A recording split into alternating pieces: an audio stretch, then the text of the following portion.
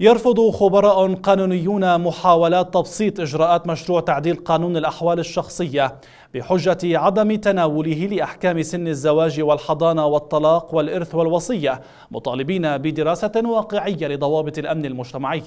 وفي السياق تحدث النائب عن الحزب الديمقراطي الكردستاني شروان دبرداني عن امتعاض كبير من الشعب العراقي إزاء محاولات تعديل الأحوال الشخصية ملمحا إلى معارضة داخل القوى الشيعية للاستعجال بالتعديل. وأكد أن تعديل الأحوال الشخصية بحاجة إلى ورشة تضم جميع الأطراف فهو لجميع العراقيين وليس لطرف واحد. كما يجب أن يكون هناك توافق عراقي حول التعديل وأن تكون التعديلات واضحة ولا تحتمل التأويل.